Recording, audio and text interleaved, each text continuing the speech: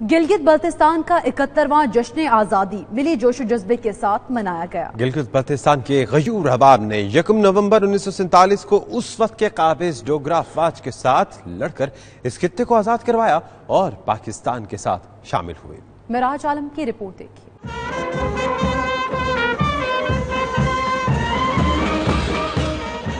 گلگت بلتستان کا اکہترواں جشن آزادی سرکاری سطح پر بھرپور جوش و جذبے سے منایا گیا۔ گلگت بلتستان کے تمام اضلاع میں ریلیاں اور مختلف تقاریب کا انعقاد کیا گیا۔ گورنر اور وزیر اعلیٰ گلگت بلتستان نے یادگار شہدا پر پھول چڑھائے اور شہدا کو خراج عقیدت پیش کیا۔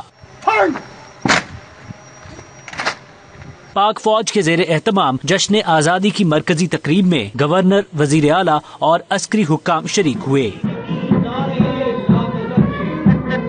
تقریب میں پاک آرمی گلگت بلتستان اسکاؤٹس اور پولیس کے چاکو چوبند دستے نے سلامی بھی دی۔